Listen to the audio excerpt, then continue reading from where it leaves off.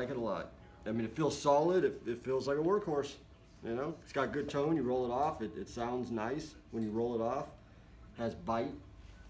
Feels like a solid guitar.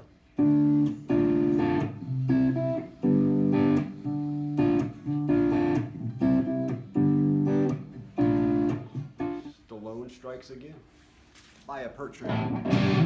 Made in the USA. Killer guitar.